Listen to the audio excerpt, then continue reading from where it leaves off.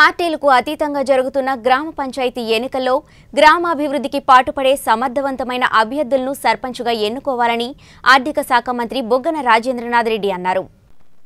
కర్నూలు జిల్లా డోన్ నియోజకవర్గ పరిధిలోని పలు గ్రామాల్లో టీడీపీకి చెందిన అరవై కుటుంబాలు వైసీపీ తీర్థం పుచ్చుకున్నారు. అలాగే డోన్ పట్టణంలోని పదమూడవ వార్డులో మున్సిపల్ మాజీ కోఆప్షన్ సభ్యుడు కాళేశ ఆధ్వర్యంలో టీడీపీకి చెందిన మాజీ కౌన్సిలర్లు శోభారాణి మేకలరాజు పెద్దయ్య రెండు వందల మంది అనుచరులతో మంత్రి బొగ్గన సమక్షంలో వైఎస్ఆర్సీపీలో చేరారు. ఈ సందర్భంగా మంత్రి బొగ్గన మాట్లాడుతూ సీఎం జగన్మోహన్ రెడ్డి నాయకత్వంలోని ప్రభుత్వం సంక్షేమ పథకాలను అమలు చేస్తుందన్నారు. గత ప్రభుత్వ పాలనలో జరిగిన అవినీతి అక్రమాలను ప్రజలు ఇంకా మర్చిపోలేదన్నారు. ప్రభుత్వ సంక్షేమ పథకాలకు ఆకర్షితులై టీడీపీ నుంచి వైఎస్ఆర్సీపీలో చేరుతున్నారన్నారు. అందరికీ చేతన వరకు ఖచ్చితంగా ఏదైనా కానీ రాజకీయంగా ప్రజలకు సేవ చేయాలి అనే ఆనందరెడ్డి అన్నగారికి అదేవిధంగా ఈ వేదికను అలంకరించిన రుద్రగౌడ అన్నగారికి విశిష్ట అతిథి అదేవిధంగా అన్న వెంట వచ్చిన ప్రతి ఒక్క విశిష్ట అతిథులు మా యొక్క సేవాభిలాషులు మిత్రులు పాత్రికేయులు ప్రతి ఒక్కరికి పేరు పేరున ధన్యవాదాలు. ఈరోజు మేము ఈ కార్యక్రమం నిర్వహిస్తే ఏమి?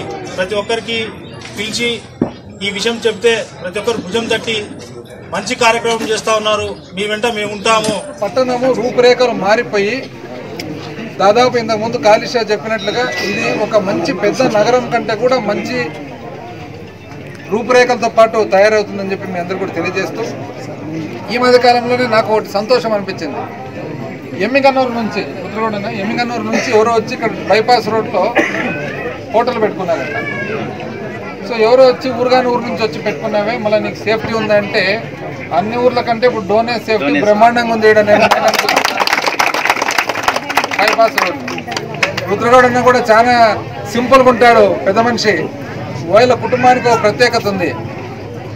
వీళ్ళ తండ్రి గారు వీళ్ళ తాతగారు ఇద్దరు ఇద్దరు ముఖ్యమంత్రులను ఎన్నికల్లో ఓడించినారు? ఒకసారి విజయభాస్కర్ రెడ్డి గారిని ఒకసారి దామోదరం సంజీవయ్య గారిని ఓడించిన ఏకైక గణిత వీళ్ళ తండ్రి గారికి తాతగారికి అని మరొకసారి కూడా ఈరోజు పార్టీలో చేరిన ప్రతి ఒక్కరు కూడా కుటుంబ సభ్యులుగా భావిస్తూ మీరు కూడా బాగా చొరవతో ప్రజాసేవనే కాకుండా అందరూ కూడా కావాల్సిన వాళ్ళంతా ఏదో ఒక రూపంలో బాగుపడేట్టుగా వాళ్ళ పర్సనల్ కూడా బాగుపడేట్టుగా ఉద్యోగ అవకాశాలు అనుకోండి వ్యాపార అవకాశాలు అనుకోండి ఇంకోటి అనుకోండి చేసుకునే దానికి అవకాశాలు మీరన్నీ అన్నీ మీరు మీకై మీరు చొరవ తీసుకొని కల్పించాలని చెప్పి తెలియజేస్తూ